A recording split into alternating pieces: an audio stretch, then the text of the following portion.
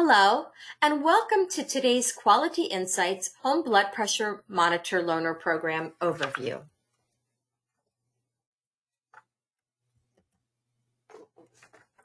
In this program, practices that participate can provide home blood pressure monitors to patients that do not currently have a monitor or to patients that do not have the resources to purchase one.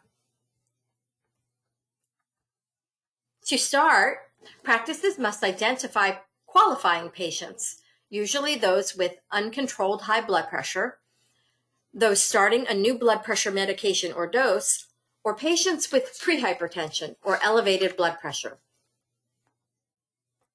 We ask that you have patients complete this home blood pressure monitor loaner device agreement and sign it so that it can be scanned into the patient's medical record. This document is available from your Quality Insights Practice Transformation Specialist and also on our website. We also provide this loaner log to be used by the practice to document patient information and also monitor information for your records. Your patients may wonder why they're being asked to take their blood pressure at home.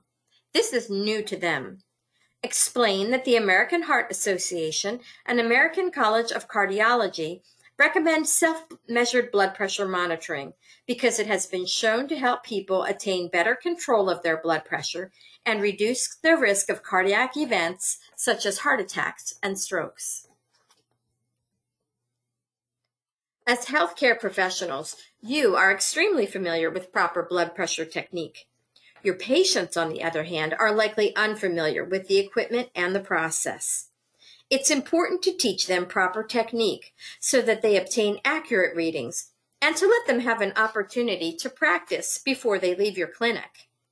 Show the patient the monitor and its parts and review the documents. Be sure they have the instruction manual included with the monitor. Plan to spend between 10 and 20 minutes teaching patients depending on their comfort level, confidence, and health literacy. This document, Now You Can Monitor Your Blood Pressure at Home, is an overview of all the steps you'll teach the patients. Be sure to fill in the blue shaded part with instructions about when and how to communicate blood pressure measures and when to call the office or seek medical attention according to your practice protocol. This handout also gives the link to Take High Blood Pressure into Your Own Hands, a brief video that's a helpful reference. You can use it in your office, via your patient portal, or you can provide it to patients to view at home as a review of your instructions.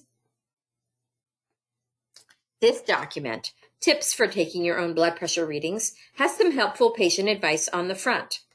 We encourage you to provide this to patients so they can use the other side, which is a log for the measurements.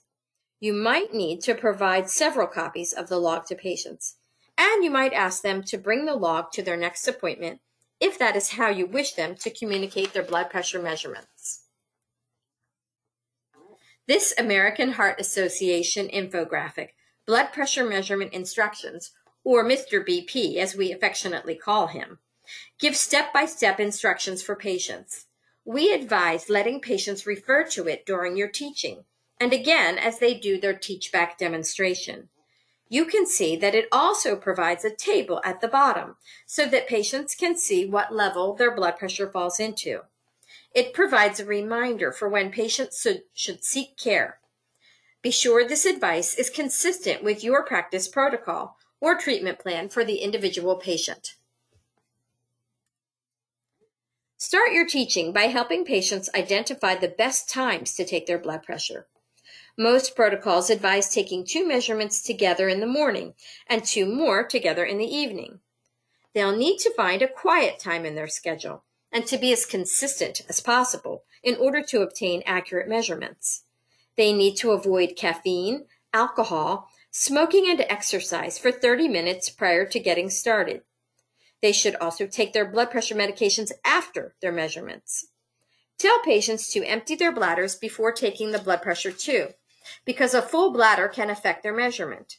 You can refer to Mr. BP as you go along. Before moving on, be sure to ask your patients, What time in the morning and the evening can you find a quiet time to take your blood pressure? Now that they've decided when to take their blood pressure, let's help them to find a good place. It should be a quiet space with a comfortable chair where they can sit with their back straight and supported. Instruct the patient to keep both feet flat on the floor and not to cross legs or ankles. It surprises many people to learn that this too can cause an inaccurate reading. Many patients find a desk or kitchen table to be a convenient location with a place to rest their arm and keep their monitor, infographic, and log with a pen or pencil. Let patients think of a place in their homes and be sure to ask, where in your house works for taking your blood pressure? Next, teach your patients to put on the cuff. They should use their dominant hand to place the cuff on the other arm wrapping it snugly with the tube just above the bend in their elbow. Show them how to use two fingers to check the wrap. They should be just barely able to place the fingers between the cuff and their arms. Many patients need reassurance about applying the cuff. Remind them, this may take a little practice. You will get a chance to practice before you go home today. Once properly positioned, instruct your patients to rest quietly for at least five minutes with the cuffed arm supported comfortably on a flat surface at our heart level. They should sit calmly and not talk. We recommend against using electronic devices while resting. After the rest period, they can press the start button on the monitor and the cuff will inflate just as they're used to in the office. Then it will deflate and the blood pressure numbers will appear on the screen. At this time, you can explain about the systolic and diastolic, or top and bottom, numbers, and instruct them to disregard the pulse rate unless part of the individual's care plan. They will record the measurement on their log or in whatever manner your protocol uses. Next, they will take another rest period, one minute this time, and then take a second reading. Remind your patients it's important to rest quietly before taking your blood pressure measurement. When the two measurements have been taken and logged, instruct your patients to compare their numbers with the table at the bottom of the infographic to determine their blood pressure measurement. This is a good time to reiterate your instructions about when to call your office or seek medical attention. These three documents that we just reviewed and are shown here on the slide are also available from your practice transformation specialist or on the Quality Insights website. Now let's talk about returns of the monitors and assessments. Patients should keep the monitor as long as the provider deems necessary, usually between two weeks and one month. And they should supply their blood pressure readings back to the practice according to your protocol, usually by paper log brought to their next appointment or possibly by reporting them into the patient portal, or whatever manner your practice decides. When the patient returns the monitor, we ask that you have them complete this self-measurement of blood pressure assessment. This is a brief form that consists of 13 questions and is available from your practice transformation specialist. It's very important that we get these assessments back in order to understand how this program is serving your practice and your patients. The device should be properly cleaned and sanitized according to OSHA and CDC guidelines. Then ensure that it's powered off and stored in your designated area in the office. And sign off on the loaner log that the monitor was returned to ensure that the same packaging, cuff, and accessories are still present. We also ask that your providers or practice complete this 10 question assessment. It only needs to be completed annually. And again, it's very important to us to ensure that we are providing a helpful program and meeting your practice needs.